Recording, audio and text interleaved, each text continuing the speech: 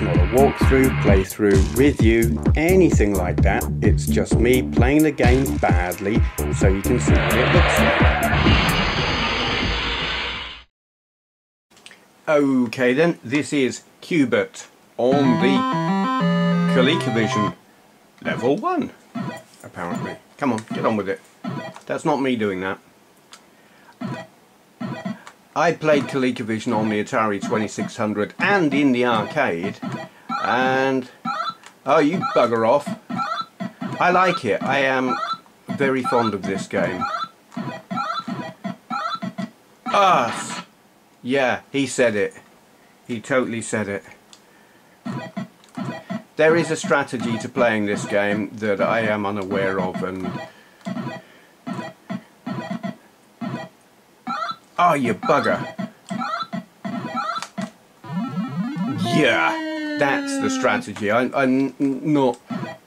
It's not something I can do like on demand, but you can get the snake to jump after you while you're on the disc. This plays a lot better than the 2600 version. And that's good. I mean, I... Oh, crap. I quite like that version, but this this beats it, and it it's responsive to the controller. You don't have to think, should I have this diagonally or not? It just it just works, and that's very pleasing.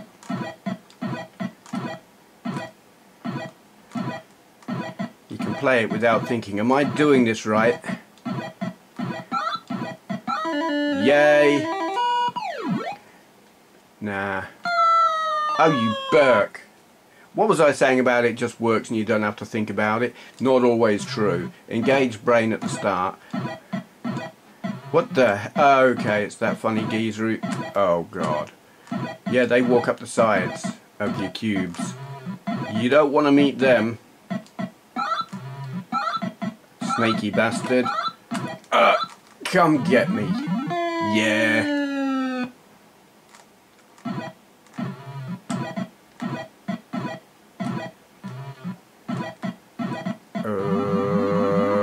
Yeah, that got rid of one of them.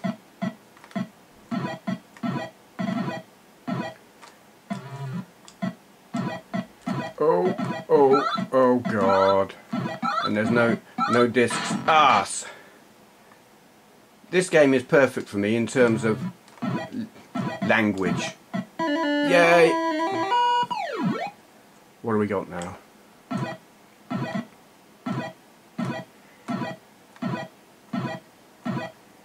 That disc up there seems like oddly positioned.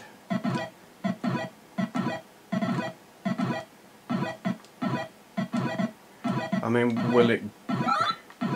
Oh, crap. Oh, bollocks. Game over. Okay, I like that. That is, that's a good version. Q*Bert on the ColecoVision.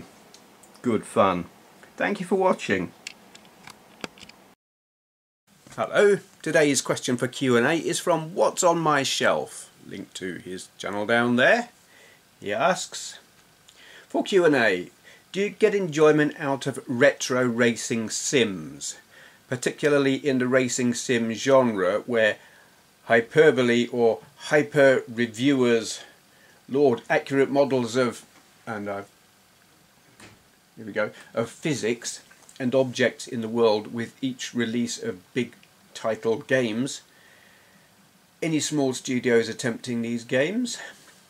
The licensing fees must be horrendously expensive. However, in retrospect, the physics models become more inaccurate, looking back further and further to the point where it becomes laughable. In contrast, the amount of fun may not depreciate, as you're able to play with these physics to excel in a game and produce or produce impossible results with such hilarity. Okay, I get what you're saying. Um, do I like the old Sims where the physics is a bit dodgy, but that can make it more fun? Uh, short answer, yes. Um, I've not played a lot of old racing Sims. Uh, really only two come to mind. No, three. Maybe more. Um, I'll have to think about that. Formula One Grand Prix by Geoff Crammond, obviously. On the Amiga, haven't played it on PC. Um, Stunt Car Racer, obviously. Um, also, uh, Indianapolis 500, I've played that. And then, of course, there's games like Hard Driving, I like that as well. Um,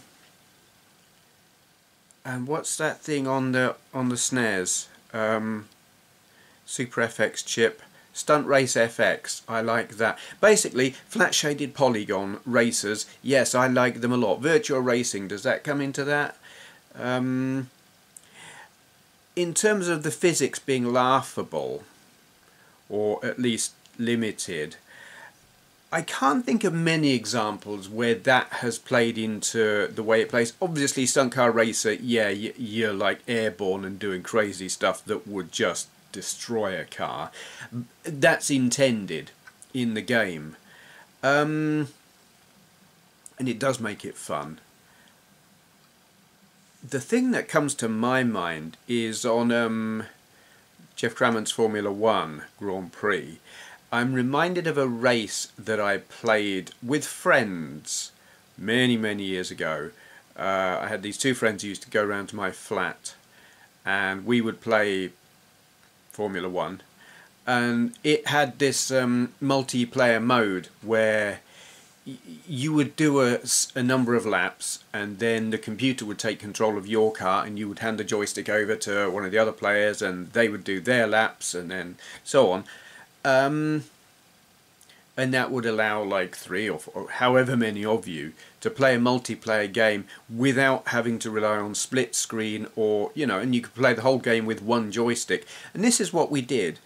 And we would have individual setups for each circuit. And really we would tweak the hell out of the cars and, and because both friends had Amigas so they would practice at their houses get their setups right and everything and then put it onto floppy disk, bring them round to my place because I had the more powerful Amiga and a flat where no one was going to be disturbed while we were playing until stupid o'clock in the morning and we really did. It's like we'd start playing at 7 or 8 in the evening and we would still be there at 4 or 5 o'clock the next morning. So I'm just reminded of this one occasion where I, were we racing in Hungary? It was a tight circuit, or relatively tight. There was one significant straight, but most of the circuit was quite tight. And the standard setup and the kind of setup that your typical player would go for was a kind of middle of the road, medium kind of gearing, medium downforce. So they could take advantage of the, the, the straights but still get round the twisty bits. I did something different and what I did was extreme. I went for maximum downforce and really low gearing, stupidly, insanely low gearing. Um, and it meant that my car could grip like anything in the corners and accelerate like a crazy thing.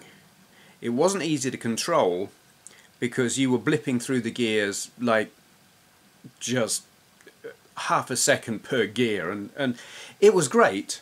I could just romp away into the front of the field and then get to the main straight and the other cars would be catching up up with me really quickly but I would still just about be holding the lead. Basically I could get past the finishing line in front and if I had been able to do the whole race without having to hand over to the computer, I would have walked it. I would have just absolutely slaughtered the opposition. But while I was able to drive this car really, really well and insanely fast, the computer couldn't. the computer driver, when it was driving, its AI was at best average. Whenever you handed over, you knew you were going to lose a place or two, whatever your car set up.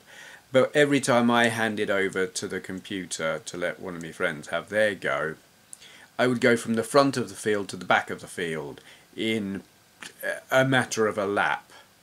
It was that bad. It did not know how to drive my car. Um, it's like it, it, it would select a gear, rev the knackers off it, leave it on the red line for ages, and then finally decide, oh look, maybe I should change gear at a point where you would normally change gear in a normally geared car. It, it wasn't. It didn't seem to be choosing when to change gear based on the revs. It seemed to be based on how long it had been in that gear, which was stupid. But yeah, um, I didn't win that race, and I should have. I was last because stupid AI. I could, if I had been the last player to have their go at the end of the race, I would have won, but I wasn't, and because I wasn't, I came last.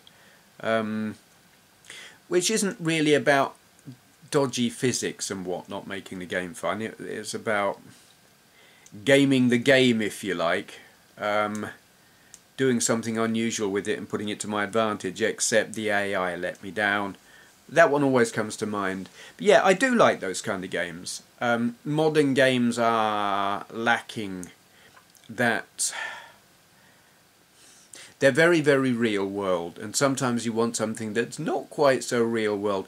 Um, but that being the case, I find just playing the old games, you know, I'm not going to look for a modern game that does that. I'll just play the old game because why not? I like flat shaded polygons, and those kind of games tend to be like that. Hmm. Okay, I hope that answers your question. Uh, as I always say, if you've got a question you would like answering in a video like this, just leave your question in the comments below. Begin your question with 4Q&A so I know not to just answer it in the comments. And thank you for watching. Not without a knighthood. Not a chance. Anyway, Benway who? Oh. You lot. Uh. Hello? Uh, what? Oh. Please subscribe. Thank you. Can I go now?